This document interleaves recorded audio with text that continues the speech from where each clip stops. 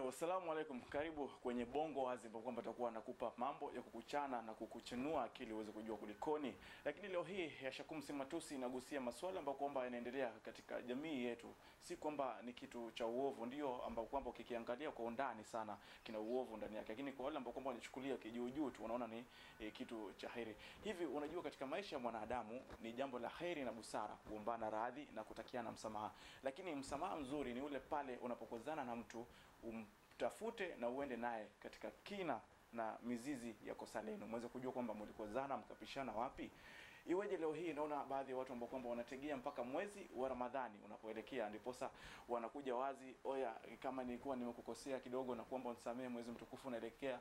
Oya, sijui kama nilikuwa nimeku, ku- nimekutukana, sijui nimekupokonya nini, nimekufanyaje, nisamehe. Mambo kama hayo hayaruhusiwi ambao kwamba unapata eh, kulingana na jinsi Mwenyezi Mungu alivyoutengeza huu ulimwengu, alitaka tuishi kama mandugu na tutangamane na tufanye kazi, ama ulimwengu kama huu uwe ni nyumba ama jengo zima ambalo kwamba kila mtu atachukulia kuwa nyumbani. So itakuwa ni jambo la busara unapoketi chini, unapokozana mwenzako, mtafute pale pale, si heri uketi mpaka unausubiria mwezi wa Ramadhani. Hivi jiulize, kama umekoz, umekozana na mtu na umemkosea, alafu kabla huja mwezi wa Ramadhani unapata kwamba Mwenyezi Mungu ameweza kuchukua na umeondoka katika ulimwengu kama itakuwa umeondoka na yule jamaa ulimkwaza na hasira na wewe, itakuwaje? E, kule mbele ya haki utachukuliwaje? Itakuwa ni kama uliondoka umemdhulumu, hujataka radhi. So kutaka radhi na kuwa safe ndani ya maisha ni kuomba msamaha pale pindi tu unapomkosea mwenzako. Ni ndani ya Bongo Wazi, niite Chigo Machila.